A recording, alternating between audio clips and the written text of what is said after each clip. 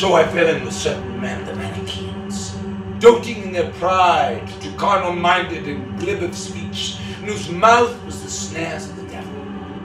They mixed together the syllables of your name, in the name of our Lord Jesus Christ, in the name of the Paraclete, our Comforter, the Holy Spirit. These names were never absent from their mouths, but were only the tongue's sound and clatter. But their hearts were empty of truth.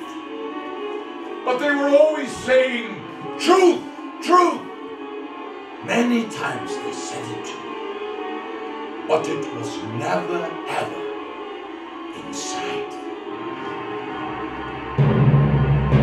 The Holy Spirit dwells within us.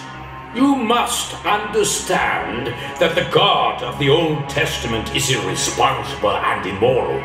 Thus, the Old and New Testaments contradict one another throughout.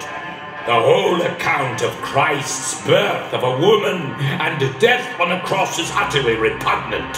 It is impossible that God should descend to a woman's womb. A woman? Impossible!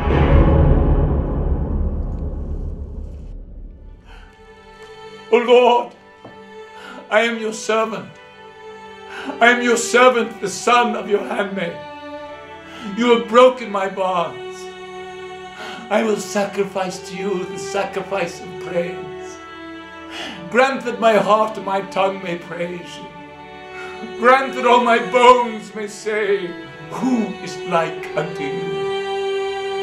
Grant that they may speak and deign to answer and say to my soul,